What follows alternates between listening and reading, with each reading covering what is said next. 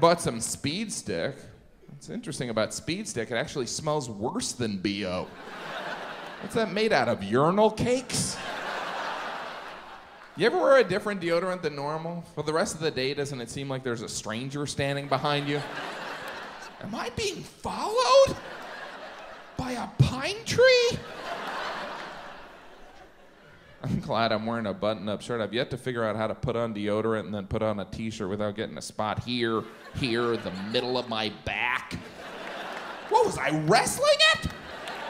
I got my ass kicked by my deodorant.